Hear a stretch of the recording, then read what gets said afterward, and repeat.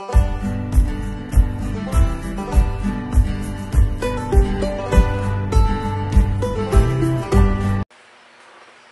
y'all, if you don't mind, click subscribe and if you like the video and click the like button and we appreciate every one of y'all. Hey y'all, Fat Man Outdoors.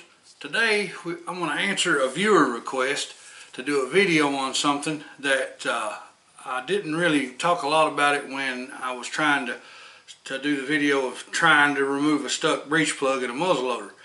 But on the back of some of these muzzleloaders like this C CVA, you can see right here that there is a plug that screws in the back of the receiver that holds all of your action in. And those have threads that screw into the receiver and it's a big thing almost like a plug like you'd see in metal water pipe or something like that or gas pipe. And you have to treat this the same way as you do that breech plug. You have to lubricate it so and, and keep it well oiled and greased so that it doesn't get uh, anything in the threads or rust on it and cause the threads and the plug to seize together because if you do then you're going to have the same problem as you do with this breech plug. You can't take the breech plug out to clean the gun if you can't get the action plug out to get to it. So I'm going to show you some different ways that you can deal with one that's stuck uh, and and maybe uh, something that'll help you a little bit to get one out if, if you're having trouble with it and, and, maybe you need to replace it because someone's previously damaged it but it'll allow you to get it out so that you can replace it and your gun will still be serviceable and still get what's intended to be full use of, of the, the rifle at the from the time of purchase through the life of the gun. Because every gun is made to last a lifetime several lifetimes as a matter of fact the thing that limits a gun's lifetime is the amount of maintenance and care it receives. And that comes down to, number one, knowing how to safely disassemble it and, and, and reassemble it. But number two, knowing what components you need to check and that you need to lubricate and that you need to use rust prevention uh, chemicals on so that that gonna last you long, as long as you're to use it. And then when you're dead and gone, your kids or your grandkids can get it and say, yeah, this is Pap's old rifle. He killed a lot of deers with it. I want to hunt with it too because I really liked hearing the stories about when he'd go out and go hunting and maybe I'll catch some of his luck or maybe if it's like me, you'll catch some of my bad luck. But uh, I'm going to show you how to I, the, the way that I do it when I run across this problem and I run across several of them every year people will bring to me and ask me if I can do something about the the breech plugs, but not so much the action plug. But it is an issue. It can be an issue. It's something because it works exactly the same way as the breech plug It does. And when you're cleaning it, you have to pull your jag out through that. So if there's any powder that comes out when you're cleaning it, it's going to get in the threads of that as well and could potentially cause an issue. Okay, uh, first thing we need to look at is the kinds of tools that you can use to take these out there's a lot of different kinds of tools. Most of the, the, the fittings on the end of these are a hex key or an Allen wrench. There might be a few out there that are star in the new ones, but I haven't really run across one yet. Pretty much all of them I've seen has been a 3 16 Allen wrench or, or hex wrench. Now you can use the kind that goes in a ratcheting screwdriver that's that's that you buy and you can get in these kits. It's got all different kinds of uh, uh, on uh, the, the hex heads and uh, one-way Phillips, Star, Square. They got all kinds of different sizes for them. And these are pretty good if it's if you know that the rifle's been maintained well and it's always been kept greased. There's never been any corrosion in there. These these will do a fast job with those screws because they're not going to be stuck. Okay, but if they're stuck, th these are kind of my low end favorite because most of these I've seen out there that you buy are pretty cheap uh, and the metal in them is not so good and they'll strip. And, and the bad problem that is if they strip and you do that eh, eh, and start trying to get it out with one that's not got good square edges, and you could damage the hole inside of there where the where the Allen wrench head is supposed to go and make it to where you can't get anything to fit in it and hold so then you're going to be stuck doing a whole nother thing. The next type of tool you can use is just standard old hex head wrench. Uh, now if you get good ones, okay, now this is just one I grabbed off top of the tool bench. This is not so much a good one. You get good ones, br- br- name brand ones that, that are good and strong and got good metal in them and they're tempered, they'll they'll hold up. They won't strip out. And 95% of the time, you put them in one of these, and and, and you've done everything correctly. As I'm going to show you in a minute, the different steps you can take to make it where it works a little bit easier, then you're going to be fine. Okay. But if you get these cheaper ones, you're going to run into that same issue that you run into some of those nut drivers. They're made out of weaker metal. They're not tempered as hard. They're just not as strong, and they're going to strip out. So that's probably my my second favorite. But it's to, to me, it's still stronger than the nut drivers. Now, my all-time favorite is is go to a parts store or a place where you buy tools. Buy a good quality tool. This is a Crescent.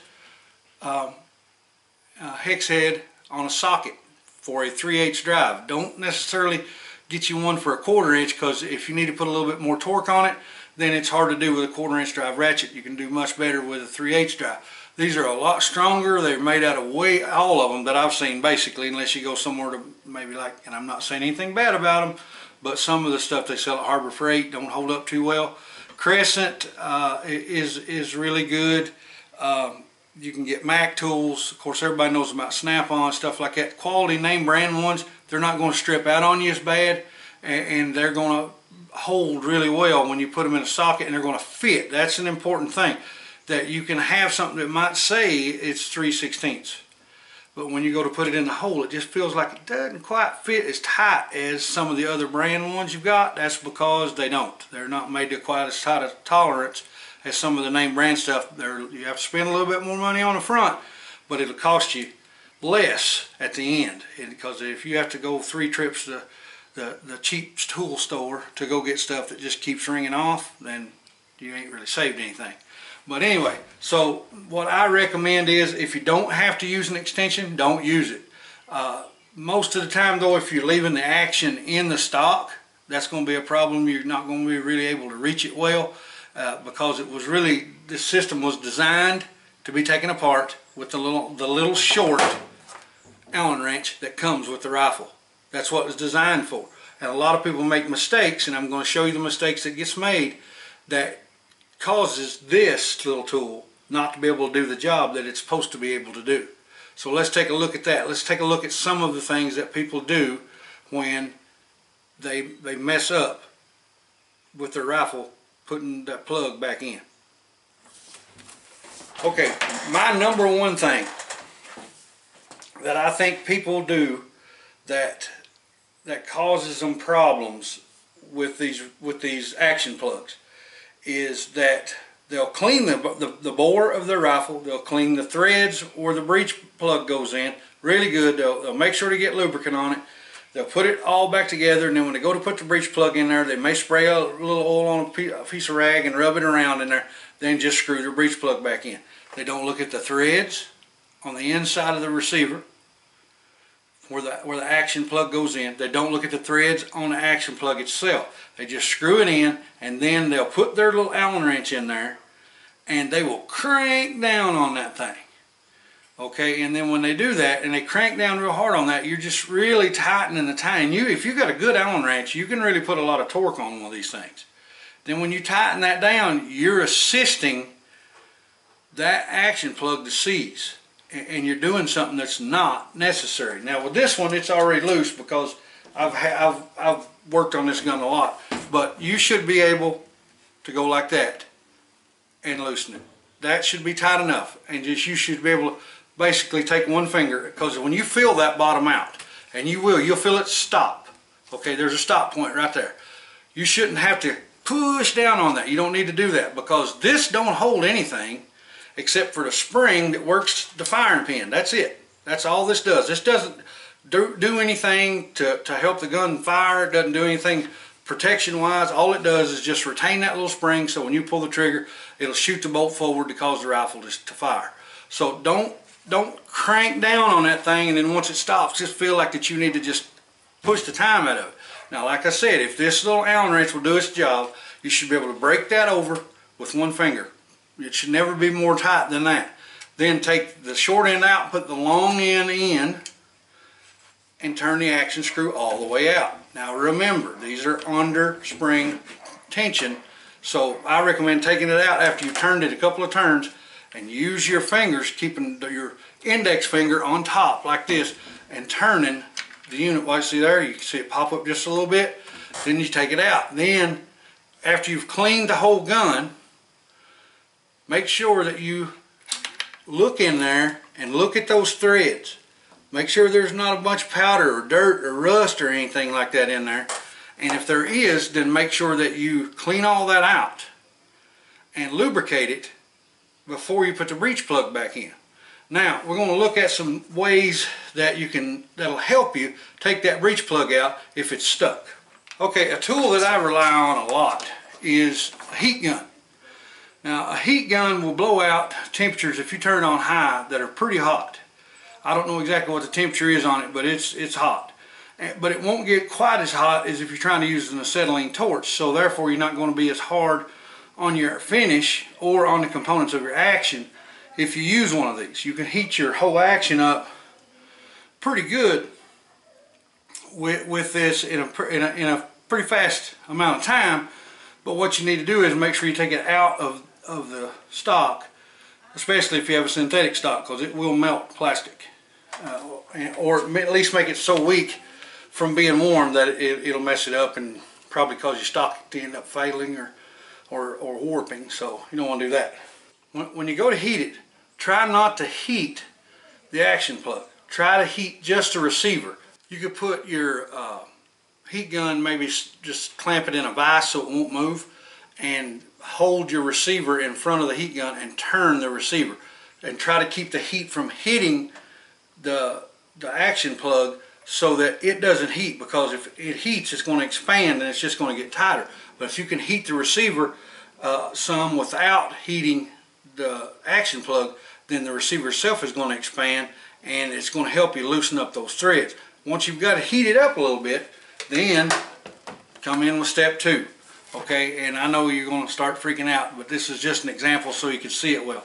You can hit the end of the action plug if there's corrosion or if there's powder in those threads a couple of times and break that loose and make a little movement inside of there and that'll a lot of times do the job you need it to do. Now if you've got a brass hammer you can hit that and it won't mar it. Take it out of your stock give it a couple of real good whacks with that brass hammer and then then go to the next step. But if you don't have a brass hammer a steel hammer is all you got, don't hit the end of your plug with, with a, a, hammer unless you're planning on replacing it once you get it out because you're going to mar it up pretty bad. And, and, and if you don't care what your gun looks like or stuff like that, then I guess you're okay with that. But, but I, I'd try not to do that. But if you have to hit it with a steel hammer, put a block of wood against it and then hit that block of wood. You're still going to get what you need. You're going to get that impact and that, that vibration going through those threads and you're going to get that plug get knocked back and forth.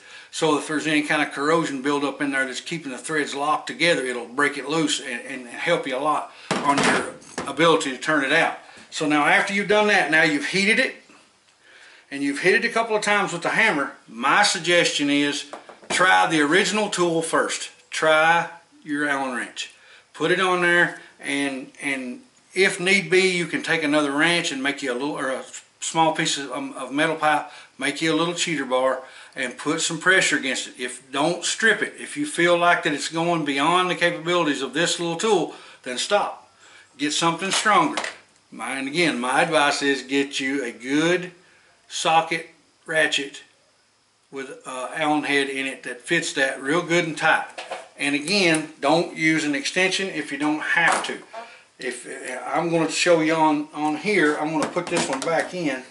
Okay now you've heated it and I've still got this one in the stock to, but I'm going to show you without it being in the I'm going to show you with it being in the stock. So now you've heated the receiver and you've tried to avoid heating the action plug. So now that you've got this heated up and you've took your hammer or your brass hammer and hit it a couple of times or your metal hammer and a block of wood and you've hit it a couple of times and you've got that where it's had some vibration going through it. Again, put your little Allen wrench in there and put pressure on it, okay? And if that doesn't move it, you can even take like a socket uh, extension, put it in there, and make you a little bar to break it. If that still doesn't do it, then again, I'd veer away from this unless I knew that it was something that was uh, going to come right out and wasn't going to be a problem. The next thing is to go to this ratchet. Now, once you put your your socket in there and make sure you got a good fit, you got it down in there good and deep, shake it down in there like this, get it to go down in there, make sure there's no debris or anything in there, keep it from coming out. Now don't just grab your ratchet and just go pushing, okay? Because more than likely if you do that and it's super tight, you're going to end up breaking this little Allen wrench. Because this is a small tool. This is not designed to take huge amounts of torque. But what they will take is quite a bit of impact. Quite a bit more than if you're just putting just pressure on it because it, it's it doesn't really transfer that energy fast because it's a small tool. So you want you want to put the energy into it, but not trying to just force it all in there at one time. Okay, so what I'll do is I'll take another ratchet or small hammer, something that's light that I can peck this with. I'll take my hand and hold against the back of this ratchet to hold that down in there, and I'll just tap it. Okay, just tap it and it'll and most of the time if you've heated it and you impact it with a hammer then it'll pop right on out. And as you can see now then you can turn it with this. Then then I would just turn it a, a little bit and if it's feeling like it's really tight don't just try to twist it out. Take your ratchet out and take the little Allen wrench and put back in it and wiggle it back and forth a few times. Take it tight and loose tight and loose tight and loose. To get anything that's in there crushed up even finer so that when you get it, start to take it the rest of the way out, it don't seize up your threads and start you off on a new process of trying to get it past where it's at right now. This is uh, a no-brainer. Don't put your gun back together dry. When you go to put the action plug back in there, put some grease on that thing. It doesn't have to be anything special. I like the white lithium grease, but as y'all saw when I cleaned my Remington muzzleloader, uh, I actually used axle grease just to show that it'll work. It just has to be some kind of lubricant that will, number one, work against corrosion and rust. Almost all greases will. And number two, it won't water away, so you don't worry about in time it's sitting in your gun cabinet, all your grease running out, and now you ain't got no protection. This stuff won't water away. And number three, that it's got a good viscosity, that when you put it in there, you can feel that that grease is, is kind of holding the weight of putting that thing in there. And if it's doing that, then it's protecting the threads of whatever you're screwing in, and it's also protecting the threads that's receiving that thread. So just keep those things in mind. Now, we've went down the first rabbit hole, which is it's stuck a little bit. And we needed to find a better tool to get it out because the tool we were using wasn't strong enough or wasn't working good enough. It was stripping out or breaking. So now we know what our best options are for the tools and techniques. The first technique of heating and impacting to get that action plug out. Okay, that still doesn't work. It's still stuck. I can't get it to move. All right, now you've you've went into. I've got to come up with with a solution that's going to get this out, or I have a gun that's going to be useless because a muzzleloader you can't clean properly is a muzzleloader you're going to have real problems with and having an inline muzzleloader. The reason that they made them is because they're made to be easier to clean and easier to maintain than a solid breech plug muzzleloader. So this is what I suggest you do. Take your barrel action out of the stock. Okay. Now if you've got a vise that has rubber jaws, that'll be best. If you don't have one with rubber jaws, then you can take a, a nice thick towel, fold it up a couple of folds, put it down in, make a little like a, a little basket in there in the jaws of the vise. Then stand the rifle up. When it's out of the stock, stand the barrel action up and set it in that vise and tighten it up to where the, the trigger assembly is not in the vise jaws. What you want in there is the main lug for the barrel where it tightens the stock to the barrel because that's going to be the strongest point because on most of these guns the action the, the trigger action is a, a, separate unit completely and it just screws to it with little screws and you'll snap it right off if the gun turns in there. So that little block that's your main screw for your stock screws into the barrel put that in the jaws of the vise. Then clamp the jaws around it where it'll hold and it can't turn. Now again I'd use the heat gun in this situation. And again, I would heat the outside of the receiver more than I would try, try to do anything with the plug itself. Get don't try to make it red just get it good and hot where it's uncomfortable for you to touch. If you don't if you don't get it much past that you're fine. You're not going to damage the metal of the gun. So get it pretty good and you know pretty warm. You want it pretty hot. You don't want to be able to touch it much.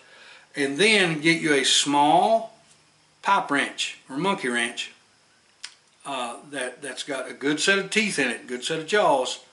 And the, you'll notice there's a little knurled serrations around that bolt and what that's made for so you can turn it in and out once it's loosened with your fingers. Well now you're going to have to use that to put some serious grip on.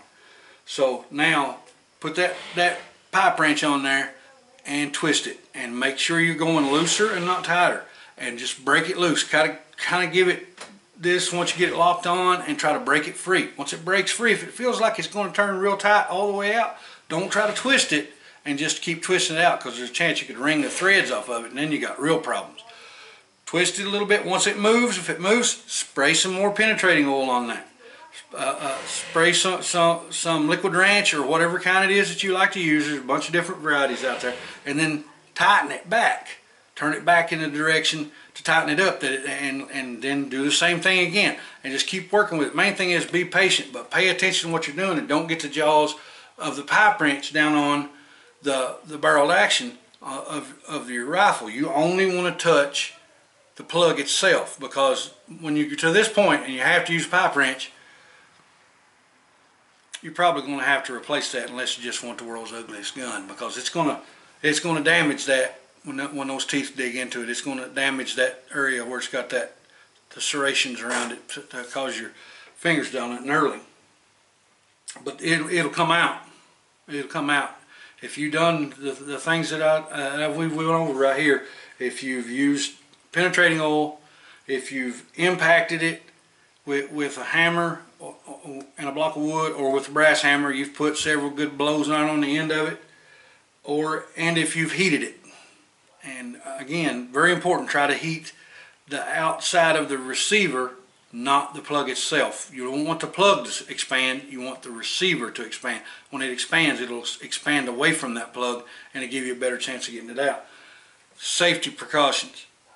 Glasses, number one. Make sure you got them glasses on because especially when you're swinging those hammer, swinging a hammer at anything, you can hit something and a little piece of something fly off, hit you in the eye, and then you're damaged for life. If you've got regular glasses that you wear, make sure they're they're not shatterproof if they're not shatterproof, get some that are. Mine are shatterproof. That's why I wear these. I don't necessarily wear safety glasses much unless it's with a grinder. But wear them if if uh, if you're not sure if they're safety if they're uh, shatterproof. Ask your optometrist; they can tell you, and you need to get some. Or you need to make sure you wear safety glasses whenever you're doing stuff like that. Number two, you're using chemicals and you're using heat. Wear gloves. I recommend you put a pair of nitrile gloves on and then put some cotton or heat resistant gloves on over that when you go to start messing with the, the chemicals you're going to be spraying on it to break the threads loose and then you start heating it up so that way you don't get burnt with chemicals and you don't get burnt by touching something that's hot. But guys, if you do these steps, very rarely have I ever seen one you can't get the plug out of. Matter of fact, I don't think I've ever seen one I couldn't. Uh, but anyway, guys, I hope this was an informative video. I know I covered a bunch of stuff and I was all over the place, but it, it's one of them things that that taking care of your gun is as important as knowing how to shoot it and knowing what ammunition you need to shoot with it. But taking care of it makes sure that down the road, if you need that gun for a reason, or as an heirloom and you're going to pass it on to somebody in your family, then you've that gun's been well taken care of because these things are made to last forever as long as they're oiled and lubricated and, and, and handled correctly. So I appreciate y'all watching. See you in the next video. It's the Fat Man. I'm gone.